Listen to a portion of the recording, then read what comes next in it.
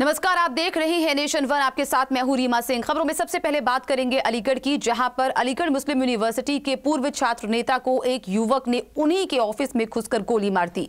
घटना अलीगढ़ के civil line थाना क्षेत्र की है, जहाँ छात्र संघ के पूर्व अध्यक्ष एवं समाजवादी पार्टी युवजन सभा के प्रदेश सचिव शहजाद आलम बर्नी ने किराए पर कमरा लेकर वर्नी फाउंडेशन का कार्यालय बना रखा है। शहजाद आलम बुधवार की रात करीब एक बजे अपने कार्यालय में दो साथियों के साथ बैठकर कुछ आवश्यक कार्य निपटा रहा था। इसी बीच एक नकाबपोश युवक गेट को झटके से खोलकर अंदर घुसा और बर्नी को निशाना बनाते हुए पिस्टल से पाँच गोलियाँ चलाई। अचानक हुए हमले में तीनों ने अपने को बचाने की कोशिश की। इसमें से दो गोलियाँ शहजाद आलम बर्नी के शरीर में जा लगी। एक गोली हाथ की कोनी में और दूसरी जांग में लगी। जिसके बाद हमलावर वहाँ से भाग गया। घायल बर्नी को तुरंत मेडिकल कॉलेज में ले जाया गया। घटनास्थल पर पहुँची पुलिस ने मामले की जाँच शुरू कर दी है। मैं रात में ऑफ़िस में बैठा हुआ था। और ऑफ़िस में बैठा हुआ मूवी देख रहा था। इतने में एक जो है अनजान कोई बंदा आया। और जो है वो सीधा उसने पिस्टल उसके हाथ में थी। उसने सीधे आके मुझे फायरिंग करनी शुरू कर दी।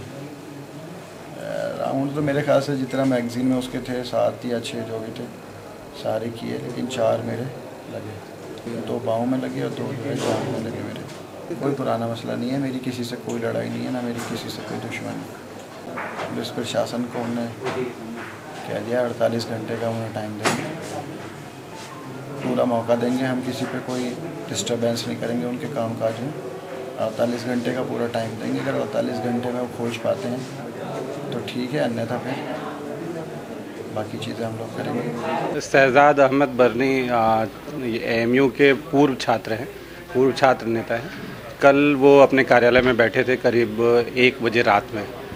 तो कुछ एक व्यक्ति ने उनके ऊपर फायरिंग की है।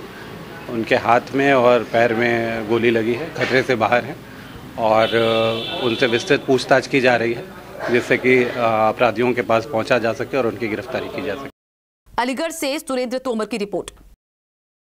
तो मेरे साथ फ़िलहाल इस बुलेटिन में इतना ही, लेकिन देश और दुनिया की बाकी तमाम खबरों के लिए आप जुड़े रहिए नेशन वन के साथ। दीजिए इजाज़त। नमस्कार।